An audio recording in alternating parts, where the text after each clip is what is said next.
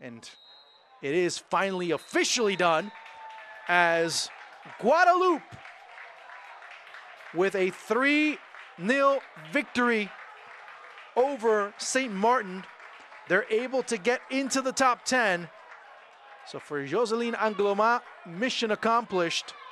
Getting the victory, getting the three points, and of course, getting a respectable goal difference.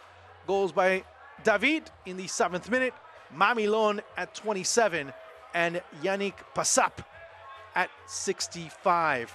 Yes, there will be some question marks that will be rising up if, as far as Guadeloupe are concerned, but a huge test was passed by some of these newer players.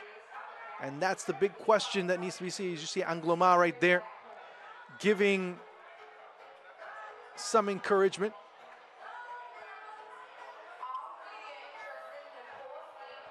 As you see right there, the statistics really speak for themselves.